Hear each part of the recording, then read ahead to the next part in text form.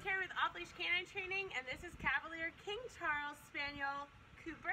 Cooper is coming to us for the two-week board and train program, and Mom says he's awfully cute, but he doesn't know any of the commands. Even if she asks him to sit, he does sometimes, uh, but most of the time he just runs around the house and rules the house. So we're gonna make sure that he understands who's in charge after this two weeks is over, but this is day of drop off. Let's just see what he knows right now. Cooper, sit, sit, good. Hi. Cooper, come. Come. Come here, Cooper. Good. Cooper, sit. Sit down. Down. Oh, good job. Oh, okay. Down. okay. Cooper, come on. Come. Come. Sit. Sit. Good. You. You. Good. Good. You. You. Come on. Good. Good. It looks like he knows some of the basics, which is really cute. Um, but we were going to make sure that he has them completely off leash after the two week program. And I look forward to showing you what he can do. Come on, let's go, Cooper. Good. Job.